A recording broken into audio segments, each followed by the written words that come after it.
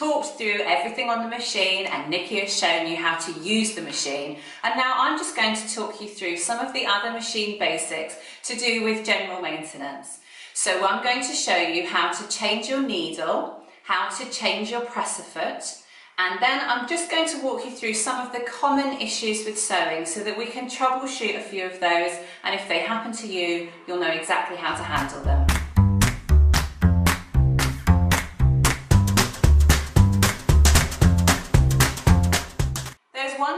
We haven't yet talked about on the machine and this one is quite scary for lots of beginner sewers. I'm talking about the tension dial, which is this little one here. Tension helps you control how tight or loose the stitches are on your machine and the dial goes from 1 to 9. Now most machines will come as standard with it set at roughly a 3 or a 4 and this is the mid-range of tension for most machines. In fact on a lot of machines the actual ideal number is highlighted so on this machine you can see there is a box around the number 4. There is also a box around the number 5 and the number 3. And this indicates the mid-range of tension. But as I get lower, you can see there are no longer any boxes around those numbers and the same for when I get higher. This is the manufacturer's subtle way of telling you that the ideal tension range for this machine is 3 to 5 and right in the middle of 4 is usually perfect. Now for most modern machines, tension does not need to be changed. There's a common misconception that if your machine isn't stitching right, the stitches look unusual or if you're getting loops underneath the, the fabric, that there's a problem with the tension. But in our experience, this is rarely the case, especially with modern machines. If you have an issue with the tension on your stitches, it's most likely a threading issue. If your bobbin isn't properly engaged, if your top thread hasn't gone through all of the thread guides, this, or if somehow it's come out of your needle, this is going to affect your stitches. The only times that you would need to change your tension is if you were sewing a very light or a very heavy fabric. But you should always let your stitches be your guide. If when you're sewing, your stitches look very tight and like they're actually pinching the fabric, that simply means you need to loosen your tension. If, on the other hand, your stitches look very loose and you could easily pull them out of the fabric, you may need to tighten your tension. Tension is very simple. The lower numbers mean looser tension, the higher numbers mean tighter tension. So you should only ever adjust the tension dial by one number at a time. If your machine is on a 4 as standard and you want to loosen the tension, just drop it down to 3, do a little test and see how it looks. If you're on a four and you need to increase your tension, then move it up to five and see how that looks. Very occasionally you might want to move it up more than one number, but you should only ever adjust it one at a time, testing in between to see if that's improved your stitches. If you're a complete beginner, and you more than likely are if you're watching this, you'll be very pleased to know that you can ignore it completely. Leave it on four or whatever the standard tension is for your machine and if you have any issues with your stitches we guarantee it will be threading. So don't worry about it, put it out of your mind, everything's going to be fine. So the first thing that I'm going to show you is how to change your needle. Needles are a really important part of sewing because they get dull just like hand sewing needles do. And a dull needle is either going to snag your fabric or potentially break whenever it hits anything particularly tricky. So you should aim to change your needle every time you feel like you need a fresh start. So a new project or roughly 15 to 20 hours of sewing on the machine. Now in your sewing kit that comes with your machine, you will have a screwdriver. Now I know this doesn't look like a screwdriver, but the little screwdrivers that often come with sewing machines are designed to fit into small places. A full-size screwdriver would really struggle to get in underneath the machine.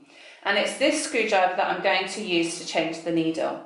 So your needle is held in place by a clamp under here and that clamp is controlled by a screw that is always on the right side of your needle. So use your screwdriver to loosen the screw. As you do it, make sure you hold your needle because you don't want the needle to drop into the machine once it's loosened. Just a few turns will loosen the needle and just pull it down and out of its clamp. Now, I don't know how well you'll be able to see it on the camera, but if you look carefully at a sewing machine needle, you will see that it is round except for on the back where it has a flat edge. And that flat edge is also on the back of the socket that it goes into. So when you insert a new needle, you simply need to turn it so that the flat edge is on the back. And then again, making sure you keep hold of it you can put it through the foot to allow you to get the angle right and then feed it up until you've got it back into position. Push it up as far as it will go and then use your screwdriver to tighten the screw. Tighten it as, as much as you can don't be tempted just to use your fingers to tighten the screw because as the machine is running it may well loosen the needle and it can come out mid-stitching. So it's always best to make sure it's nice and tight with a screwdriver.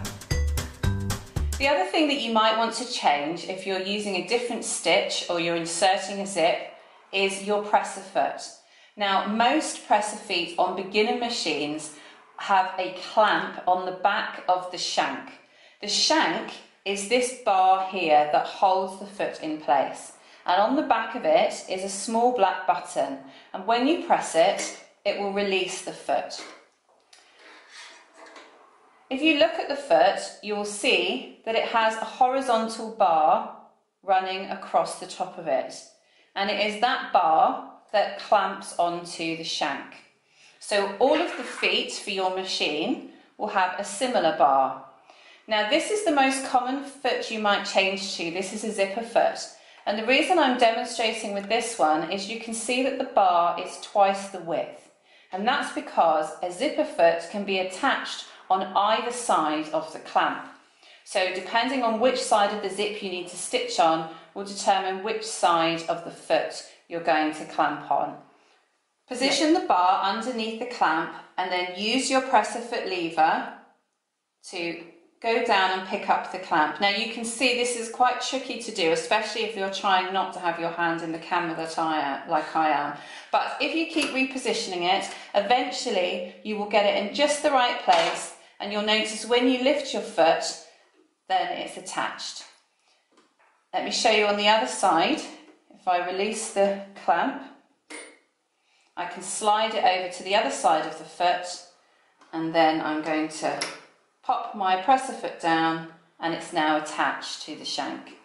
So anytime you need to change to a different foot, just simply press the button to release, position your new foot underneath, lining the bar up with the base of the clamp, and then using your presser foot lever, you can move it down to clamp it and pick it up.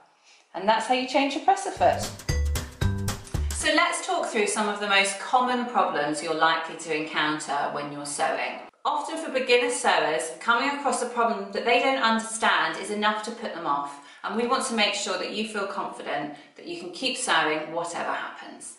One of the most common issues we find for beginner sewers, Nikki's already referred to, and that is when the thread keeps pulling out of the needle. That can be solved very simply by making sure that your tails are 6 to 8 inches long before you start sewing. You can also prevent this by manually putting the needle down into the fabric, turning the hand wheel. This makes it harder for the fabric to come out of the needle before your first stitches are formed. So make sure you check that before you start sewing and it will reduce the amount of times that you need to thread your needle. On the subject of threading, something that a lot of people miss is that when the thread has come out of the needle, sometimes it's actually come out a little bit higher up. So before you thread your needle again, make sure that your thread is still in the take-up lever. If it's not, and you just thread your needle and try and sew, your machine will make a horrible grinding noise and you will get very horrible stitches and it won't do many before it jams up. So if you need to rethread, don't just check the needle, make sure you've checked all of the other threading areas to make sure it's properly in place. The other thing that can often happen with threading is that your bobbin can come out of its groove. It can become unseated and then it's not being tensioned properly as it moves through the machine. This is often characterised by the stitches looking great on top of the fabric, but then being long and loopy underneath the fabric. You will also find that your machine makes an unusual sound when this happens. So if you're not happy with your stitches, it's always best to just open your bobbin case, take your bobbin out and just rethread it, making sure that it's properly caught into the tension disc underneath. If you do that, then you can be sure that your bobbin isn't the cause of the problem. Often we find that the best thing to do with threading when you're a beginner is not to try and guess what's causing the problem.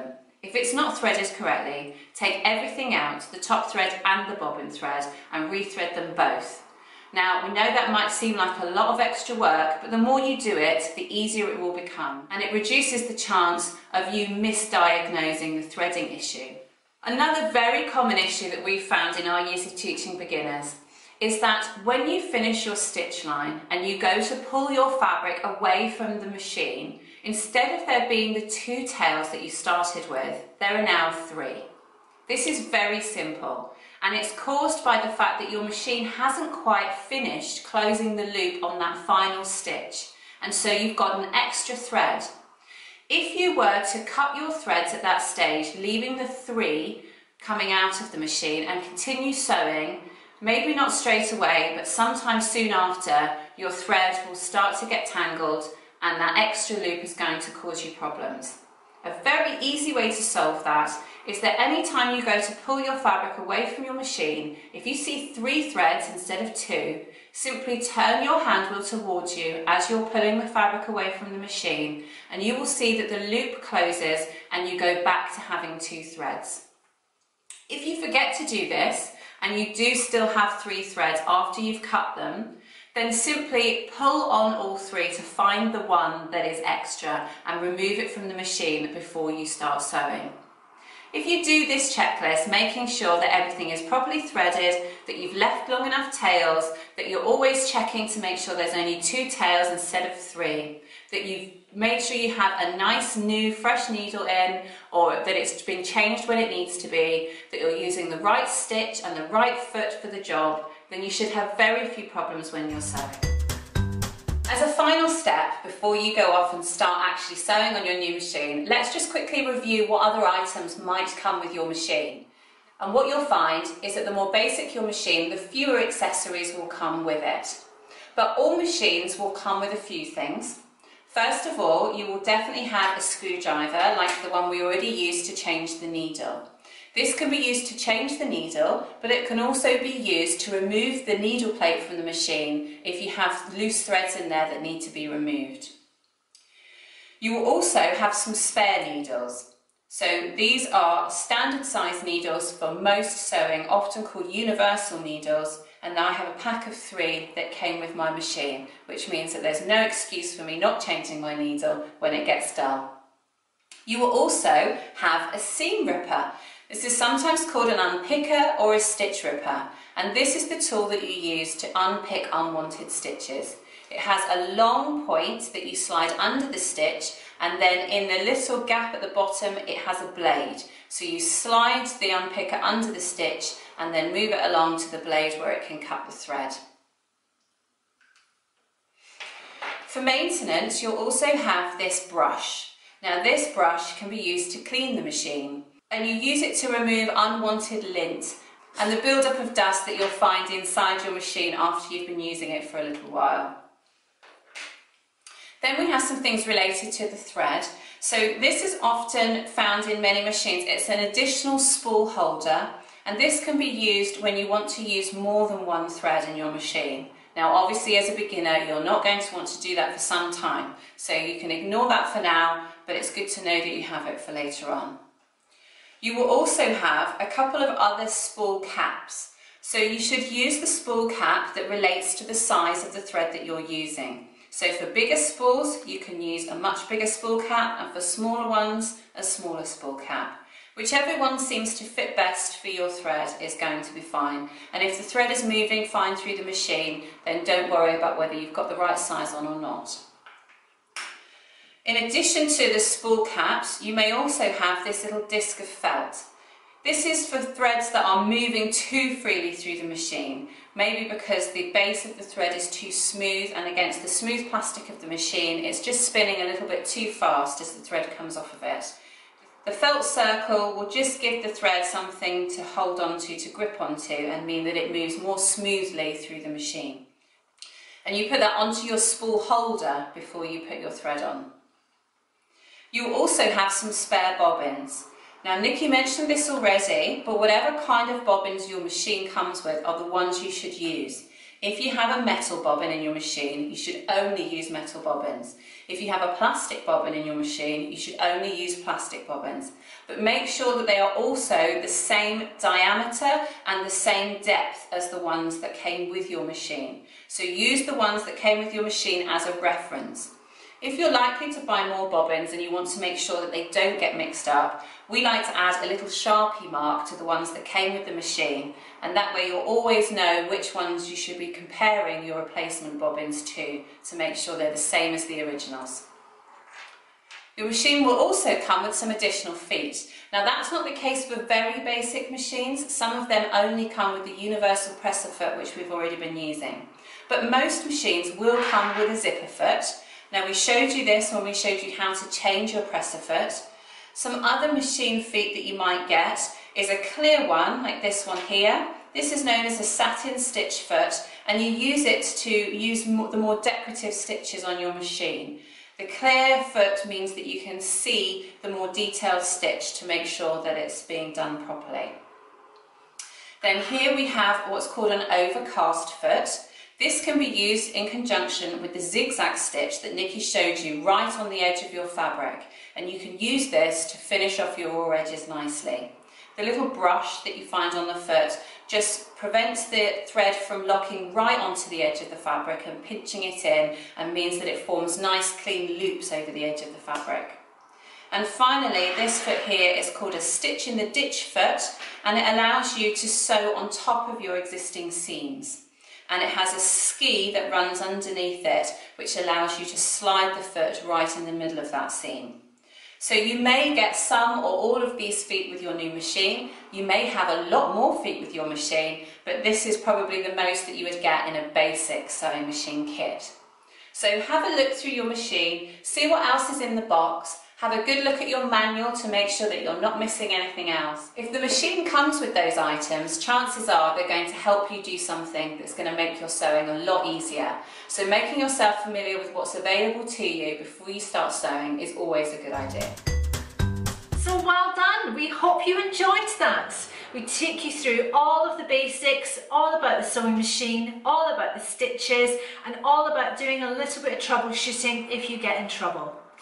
We hope you enjoyed it. Remember that you can go back and you can watch those videos again. So if there was one bit that you didn't quite understand or you've not quite got, you can go back and watch it as many times as you want.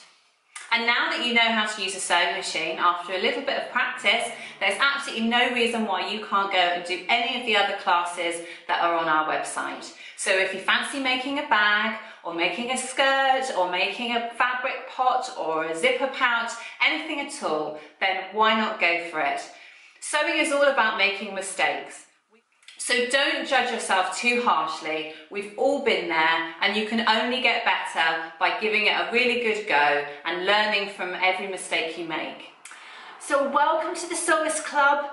We can't wait to see what you make and take you on a whole new adventure with lots of lovely things to make.